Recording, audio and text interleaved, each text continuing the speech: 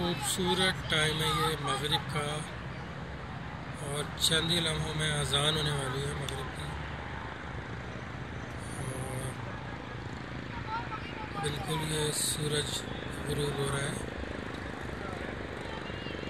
Sunset का time है।